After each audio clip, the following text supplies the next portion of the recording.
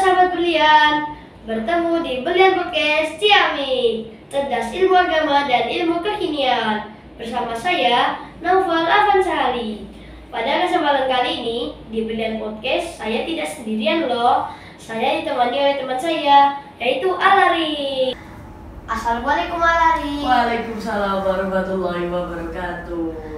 Alari kali ini bagaimana kabarnya? Alhamdulillah ana bil khairi wal afiyah. Kaifa halukunna? Alhamdulillah ada bil khair wal afiyah. Terima kasih ya sudah datang di Berlian Podcast kali ini. Sama-sama. Sahabat Berlian, tak kenal maka tak sayang. Yuk kita kenalan dulu. Alari nama lengkapnya siapa? Halo sahabat berlian, kali ini aku mau perkenalan nih. Jadi nama aku itu Alarika Zaidi Aribo atau mungkin bisa kalian singkat apakah tiga? Waduh, itu nama atau rumus matematika tuh. Alari, Alari sekarang kelas berapa sih? Ya untuk saat ini aku masih menduduki bangku kelas 5 SD loh Masih muda nih saya Sama dong sama saya, saya juga kelas 5. Alari, Alari hobinya apa sih? Ya jadi hobi saya adalah membuat karya tulis seperti cerita,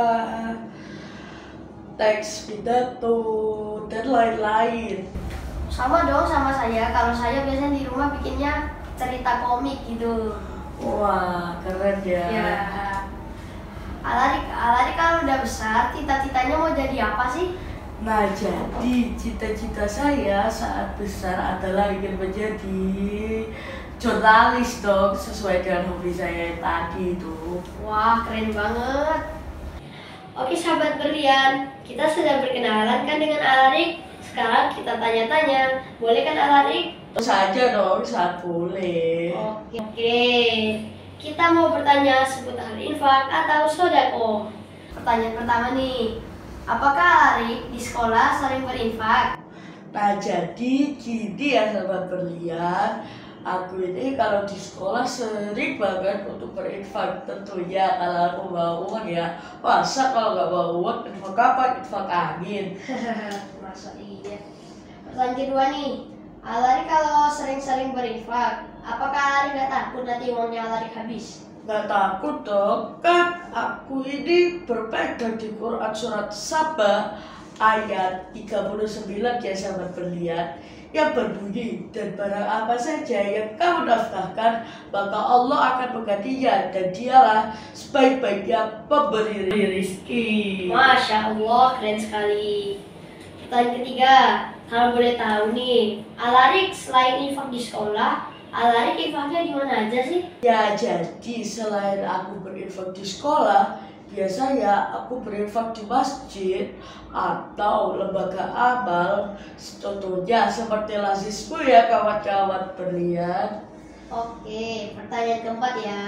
Ya. Alarik, Alarik berinfak itu tujuannya apa sih? Jadi tentu saja sahabat berlian dan teman novel, aku berinfak karena semata-mata berharap ridho dari Allah Subhanahu wa taala dan juga mendapatkan pahala dong tentunya. Ya dong, mendapatkan pahala. Pertanyaan kelima, orang tua Alarik ngajarin infak setiap hari nggak sih?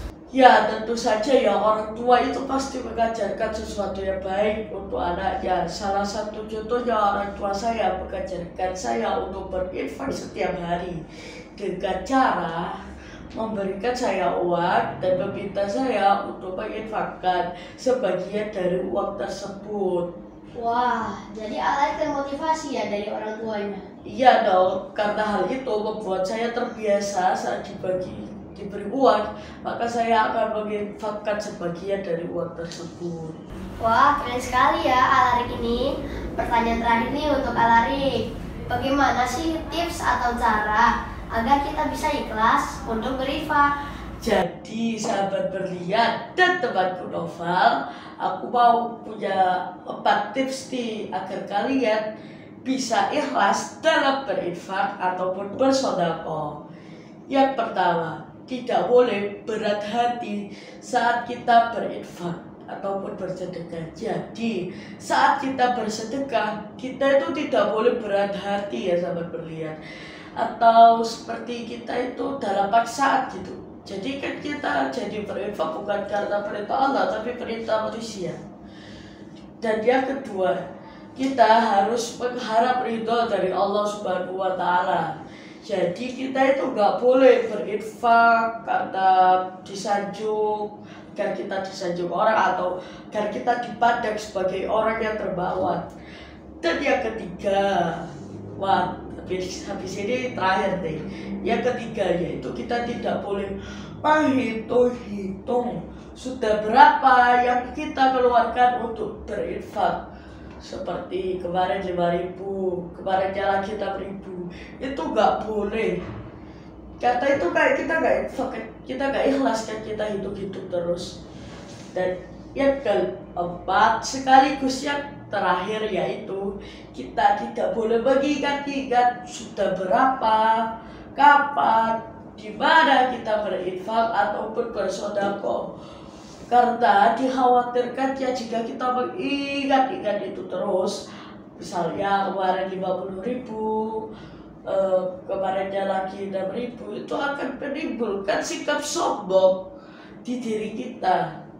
Jadi kita nggak boleh mengingat-ingatnya. Gimana sahabat berlihat dan teman novel udah paham belum? udah dong. Masya Allah, keren sekali ya Sahabat berlian, itu tadi penjelasan tentang infak oleh teman kita hari ini. Bagaimana, seru bukan? Ini juga salah satu cara untuk kita bersyukur dan menginfakkan sebagian harta kita. Dan perlu sahabat berlian ketahui bahwa berinfak di sekolah SD Muhammadiyah 2 GKB akan disalurkan fakir miskin loh. Kita juga bekerja sama bersama Lazismu GKB jadi insya Allah aman dan terpercaya. Saya Naufal Afansari dan teman saya Alarik Azaidi Ari Wibowo pamit undur diri. Wassalamualaikum warahmatullahi wabarakatuh. Dadah, sampai jumpa di program selanjutnya. siap mendukung